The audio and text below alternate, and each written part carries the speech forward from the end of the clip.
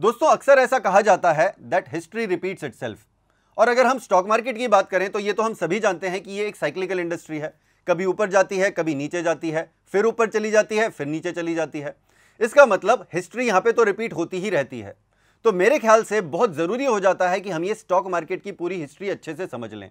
तो ऐसे ही हम एक बहुत इंपॉर्टेंट स्टॉक मार्केट के हिस्ट्री के चैप्टर की बात करने वाले हैं dot com bubble I am sure आपने इसके बारे में कभी ना कभी ज़रूर सुना होगा।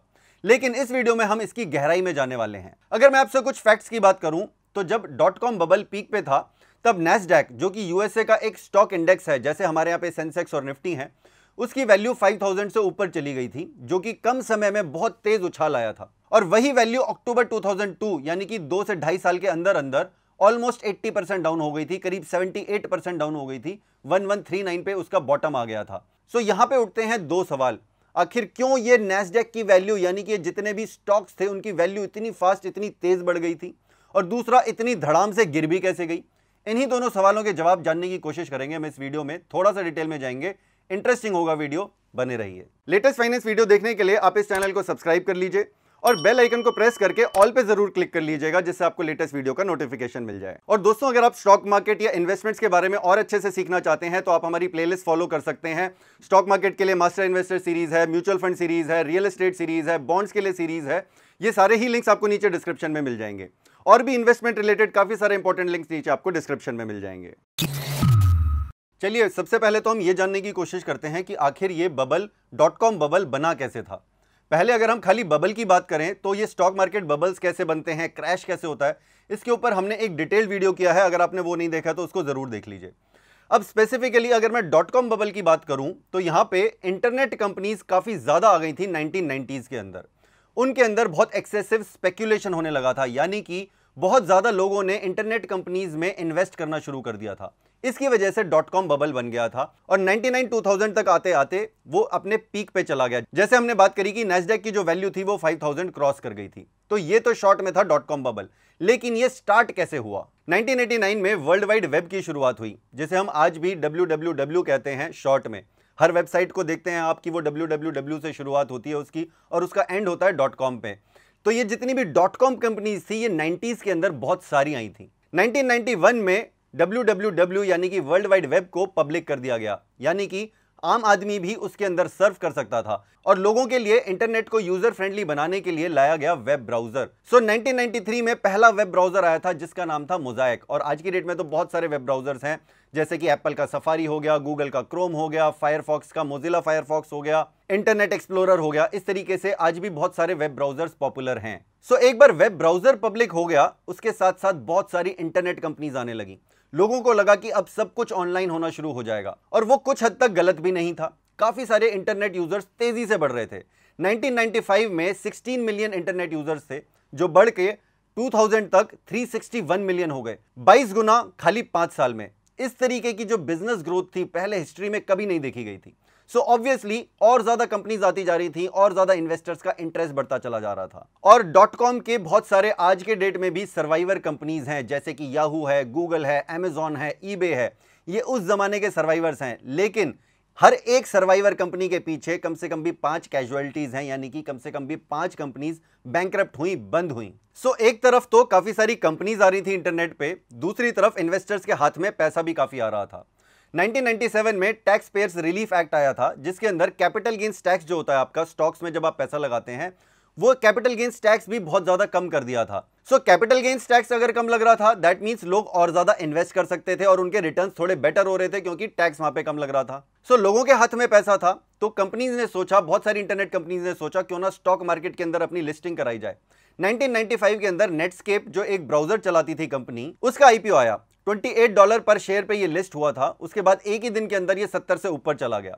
एमेजॉन भी 1997 में लिस्ट हुई थी। उसका शेयर भी पहले ही दिन 31 परसेंट ऊपर चला गया था। मई 99 में पेट्स डॉट कॉम लिस्ट हुई थी, जिसका शेयर 11 डॉलर पे लिस्ट हुआ था और एक ही दिन में वो भी 70 से ऊपर चला गया था। इस तरीके की बहुत सारी टेक कंपनीज़ के आईपीओ आ रहे थे, लोगों के पास भी पैसा था तो वो सारा पैसा स्टॉक्स के अंदर जा रहा था उस टाइम में। याहू और ईबे जैसी कंपनीज़ का मर्जर प्लान हो रहा था बड़ी बड़ी कंपनीज़ थी उस टाइम पे ये। सो कंपनीज़ का इकलौता मकसद था कि फंड्स रेज करे जाएँ और उन फंड्स को सारा एडवर्टाइजिंग और मार्केटिंग में खर्च किया जाए।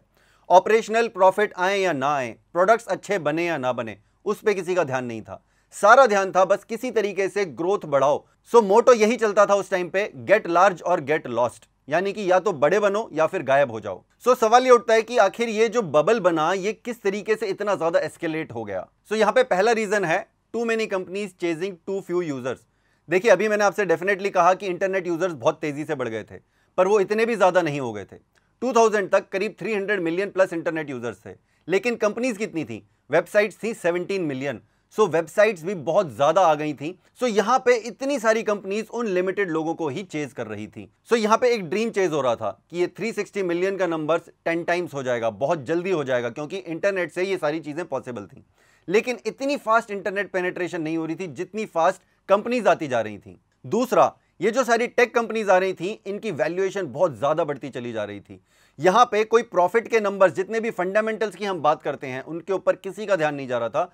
सारा ध्यान जा रहा था कि कंपनी का कितना वेब ट्रैफ़िक बढ़ता जा रहा है, कितने लोग उसके ऊपर आते जा रहे हैं। ट्रैक्शन की बात खाली नंबर ऑफ़ यूज़र से हो रही थी रेवेन्यू और प्रॉफिट से किसी को कोई खास मतलब नहीं था। इसके अलावा तीसरा रीजन मीडिया ने भी इसको और फ्यूल अप कर दिया। मीडिया भी हर जगह इंटरनेट ऑन्ट्रप्रनर्स इंटरनेट कंपनीज़ के बारे में ही बात कर रहा था कि बिलियनर्स बन रहे हैं मिलियनर्स बन रहे हैं तो और ज़्यादा इंटरेस्ट लोगों का क्रिएट हो रहा था।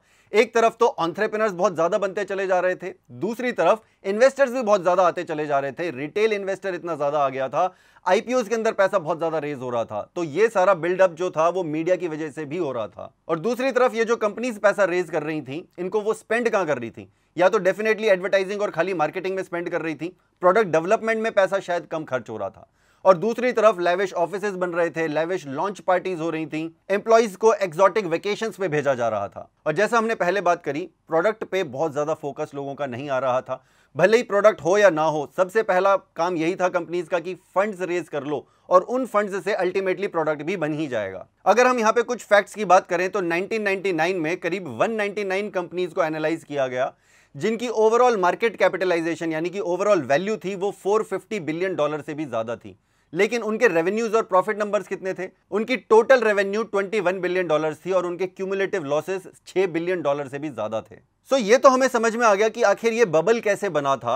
अब दूसरा सवाल उठता है क्यों और ज़्यादा बबल ये बढ़ता ही नहीं चला गया? ये फटा क्यों? आखिर ये बबल फट क्यों जाते हैं? इसको भी हम जानने की कोशिश करते हैं। सो so, आपको ध्यान होगा जो हमने stock market bubble and crashes वाला वीडियो किया था उसके अंदर हमने ये बात करी थी कि ये जितने भी बबल्स बनते हैं ये आखिर क्यों बनते हैं? क्योंकि मार्केट के अंदर मनी सप्लाई बहुत ज़्यादा हो जाता है। अब मनी सप्लाई ज़्यादा क्यों हो सकता है? क्योंकि इंटरेस्ट रेट्स कम कर देती है किसी वजह से गवर्नमेंट या फिर मनी प्रिंटिंग हो रही होती है। या फिर टैक्स कट्स होते हैं अगर टैक्स कट्स होते हैं तो उस वजह से लोगों के हाथ में पैसा ज़्यादा आता है। वो पैसा फिर स्टॉक मार्केट के अंदर भी जाता है। सो so, ऐसा ही कुछ हुआ था नाइनटीन के अंदर भी। सो so, 1995 में जो यूएसए का फेड है जैसे हमारे यहाँ पे आरबीआई है यूएसए के फेड ने इंटरेस्ट रेट्स बहुत ही कम कर दिए थे। सो so, ये जो सारी लिक्विडिटी थी एक्स्ट्रा पैसा था ये 1995 से लेकर 1999 तक काफ़ी ज़्यादा कहानी चलती रही है बहुत ज़्यादा पैसा स्टॉक मार्केट के अंदर जाता गया स्पेशली डॉट कॉम कंपनीज़ के अंदर जाता गया यानी कि इंटरनेट कंपनीज़ के अंदर जाता गया। लेकिन नाइनटीन के अंदर दो बड़े चेंजेस हो गए। पहला तो 99 के अंदर आया वाई के बग अब ये वाई टू के बग क्या था? अब देखिए जितनी भी प्रोग्रामिंग होती थी ये सारी सॉफ्टवेयर कंपनीज़ की उसके अंदर जो डेट्स डाली जाती थी वो 99 डाली जाती थी। खाली टू डिजिट्स जो होती थी लास्ट के ईयर की वो डाली जाती थी। लेकिन 2000 में वो ज़ीरो ज़ीरो होने वाली थी। सो so, इसकी वजह से सारे कंप्यूटर प्रोग्रामिंग के अंदर जितने भी सॉफ्टवेयर थे उनके अंदर काफ़ी बड़ा बग आ सकता था। इसका बहुत बड़ा डर हो गया था। पहला तो ये पैनिक फैलने लगा मार्केट के अंदर यानी कि इन्वेस्टर्स के अंदर भी। दूसरा 99 तक वो जो 1995 से इंटरेस्ट रेट्स बहुत कम चल रहे थे उसकी वजह से अब इन्फ्लेशन बढ़ने लग गया था। इसीलिए फेड को इंटरेस्ट रेट्स भी बढ़ाने पड़ रहे थे। सो so, 99 में इंटरेस्ट रेट्स जब बढ़ने लगे तो वहाँ पे मनी सप्लाई का भी क्रंच होना शुरू हो गया। और इन दोनों खतरों की वजह से एक बड़ा सेल ऑफ़ हुआ मार्च 2000 के अंदर। सो so, 5000 पॉइंट्स पे जो पीक करा था नैसडैक धड़ाम से गिरा। और साथ में एक और न्यूज़ आई थर्टींथ मार्च 2000 को कि जापान रिसेशन में एंटर कर गया है। सो so ये ग्लोबल सेल ऑफ़ की वजह से नेस्डेक के ऊपर भी बहुत ज़्यादा प्रेशर पड़ने लगा। अब ये तो हमें पता ही है कि जब एक बार सेल ऑफ़ शुरू होता है तो डाउनवर्ड स्पाइरल के अंदर मार्केट्स चली जाती हैं। देखिए मार्केट्स के अंदर क्या होता है? या तो बूम जब आता है तो लोग एक्साइटमेंट बहुत ज़्यादा होती है लोगों के अंदर। दूसरी तरफ़ जब फियर आता है तो फियर भी बहुत ज़्यादा हो जाता है। तो उस टाइम पे हर आदमी ये सोचता है कि मैं किसी तरीके से अपना छोटा मोटा लॉस बुक करूँ या फिर प्रॉफिट बुक करूँ, फटाफट स्टॉक मार्केट से बाहर निकल जाऊँ। तो इस सेल ऑफ़ की वजह से और ज़्यादा सेलिंग बढ़ती चली गई। और दूसरी तरफ़ कंपनीज़ के ऊपर प्रेशर बढ़ने लग गया। अब वो फंड्स जो आ रहे थे, यानी कि इन्वेस्टर्स का पैसा आ रहा था, अब वो अवेलेबल नहीं था। बहुत सारी कंपनीज़ को अब कैश क्रंच महसूस होना शुरू हो गया। अब उनके पास कोई प्रोडक्ट तो था नहीं, कोई एक्चुअल ग्रोथ नंबर्स तो दिखाने के लिए थे नहीं। और यहाँ ग्रोथ नंबर्स की बात हो रही है रेवेन्यूज में तो रेवेन्यूज नहीं थी, कोई खास प्रॉफिट्स नहीं थे। सो काफ़ी सारी कंपनीज़ यहाँ पे बैंक होनी शुरू हो गई। अभी मैं आपसे दो पर्टिकुलर केसेस की भी बात करूँगा यहाँ पे। उसमें से एक तो है पेट्स डॉट कॉम जिसकी अभी हमने बात भी की कि उसका जो शेयर था वो सत्तर डॉलर क्रॉस कर गया था। वो अगले नौ महीने के अंदर अंदर वो नाइनटीन सेंट्स का आ गया।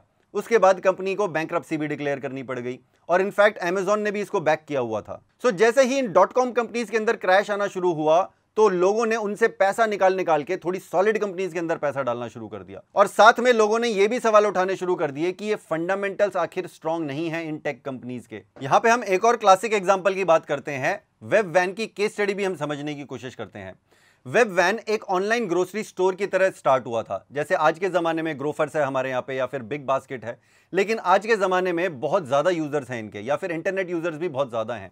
उस टाइम पे इंटरनेट यूज़र्स डेफिनेटली इतने सारे नहीं थे। सो so, शायद वो समय से पहले आइडिया शुरू हो गया था। सो so, वो ग्रोसरीज के साथ उन्होंने अपने आप को एक्सपैंड करना भी शुरू कर दिया। इलेक्ट्रॉनिक्स में भी आ गए पेट सप्लाईज के अंदर भी आ गए किचन सप्लाईज के अंदर भी आ गए किड्स क्लोथ्स के अंदर भी आ गए। तो इस तरीके के बहुत सारे प्रोडक्ट्स भी उन्होंने ऐड कर लिए। अब जनरली कोई भी बिज़नेस शुरू होता है तो वो कैसे होता है? देखिए, आप पहले एक जगह पे अपना प्रोडक्ट को टेस्ट करते हैं, वहाँ जो भी प्रॉब्लम्स आती हैं, पहले आप उनको रेक्टिफाई करने की कोशिश करते हैं। यानी कि आप एक पायलट प्रोजेक्ट को सक्सेसफुल बनाने की कोशिश करते हैं।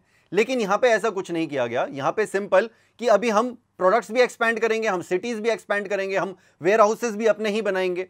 यही सारे काम कर रहा था वेब वैन और साथ के साथ पैसा ज़्यादा से ज़्यादा उठाना। ये कंपनी 1996 में शुरू हुई थी। काफ़ी सारे वेंचर कैपिटलिस्ट ने इसके अंदर पैसा डाला था। करीब 396 मिलियन डॉलर्स इसके अंदर पंप इन हो चुके थे। उसके बाद 1999 के अंदर इसका आईपीओ भी आया, जब इन्होंने 375 मिलियन डॉलर्स रेज करे।